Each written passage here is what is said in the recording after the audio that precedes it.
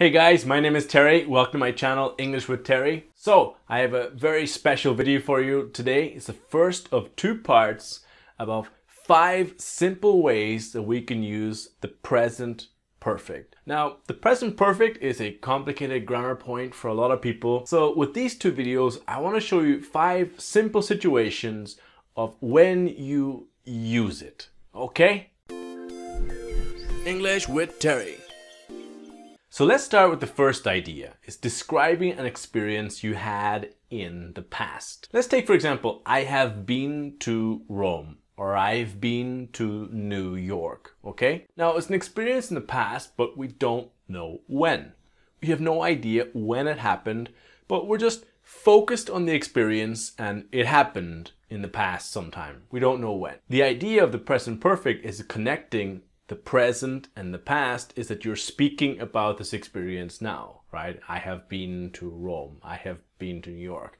Now, I personally, I have been to Rome, but I have never been to New York. So we will use this in the way of like visiting places.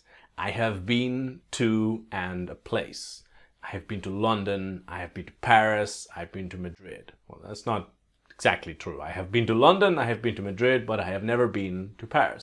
Another way we can use it, simple way, is I have tried. I have tried, and it can be a food or it can be an activity. I have tried oysters. I have tried sushi. I have tried rock climbing, right? So when we say this kind of sentence or we use present perfect, I have tried sushi. I have been to France. There's zero information about when specifically.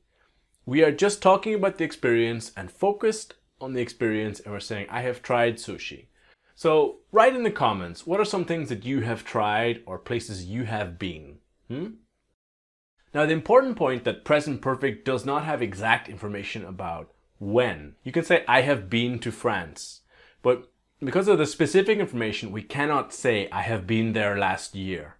In that case, it would say, I was there last year. So it's the past simple when you have more specific information about when. Because I was there last. The present perfect is the not specific time. I have been there.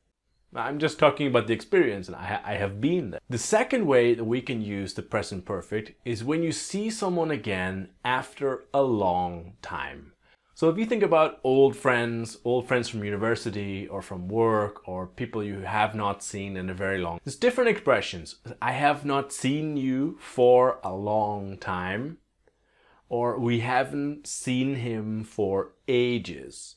For ages is this expression to mean a, a long time. So I haven't seen you for ages. So you think about the last time you saw that person, which is maybe two years ago, and then you see the person again I haven't seen you for ages. I haven't seen you for two years, you know, is that moment that you're meeting the person again. Now, we need to be very clear about some of the common mistakes. Some of the common mistakes are when people say, a long time I don't see you.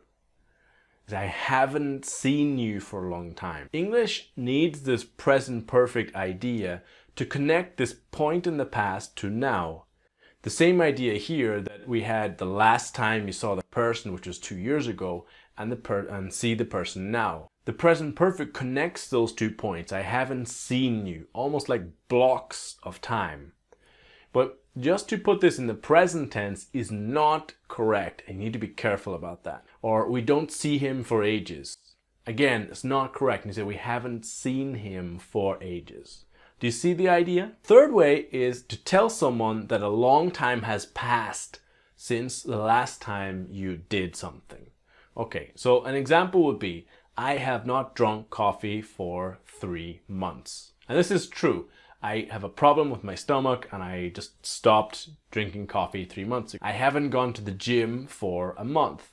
This is also true when I was writing this video. I was very sick in the weeks before, I had a lot of problems and I just didn't go to the gym. But now that I'm showing this idea that a long time has passed, there's the last time you did the activity, there's the last time I drank a coffee, there's the last time I went to the gym, and now I want to show and express how this long time happened. There's the last time I'm speaking now. I have not drunk coffee for three months. I haven't gone to the gym for a month. I really need to go. And it can be a really long time. I haven't had a coffee for three years. Or another idea is that you can say, I haven't played the guitar since I was a teenager. But here you need to be very, very careful not to say, since I am a teenager, I don't play. We cannot use the present tense to express this idea. In English, you always need the present perfect to express these long time ideas. isn't I, you cannot say, I don't drink coffee since three months. This is completely incorrect and you must understand this point, okay? Okay guys, that ends part one. I hope you liked it. Please click like if you liked the video and share with your friends to help them understand the present perfect. In the next part, I'm gonna finish the last two ways that we can use it. So please subscribe to my channel. Don't miss that video. And of course, if you would like a free listening fluency strategies course, you can find the link in the description here where I talk about all the strategies that I used to be fluent in French, Spanish, Portuguese, and Italian. Okay guys, thanks for watching and I'll see you guys in part two.